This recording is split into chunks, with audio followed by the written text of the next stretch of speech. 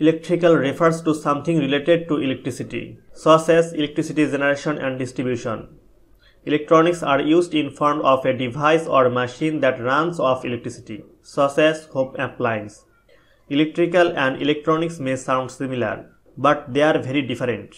Both involves moving electricity around a circuit of power useful products and machines. But that is where the similarity ends.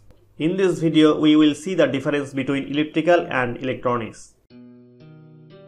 Please click the subscribe button for more videos and press the bell icon get fast notifications. Electrical is defined as anything related to concerned with electricity. Electronics is defined as the science and technology concerned with development and applications of electronics devices and circuits. Electrical devices mainly change current into another form of energy, such as heat or light.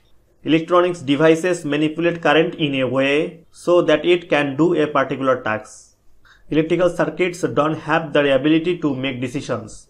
Electronic circuits have the decision making ability. Electrical devices do not manipulate data. Electronics devices can manipulate data to assign meaning to it. Electrical devices are usually high current, high power, high voltage and mostly used to alternating current. Electronics devices are usually low current, low power and also used to low DC voltage. Electrical is a study of how electricity transmission, distribution and generation.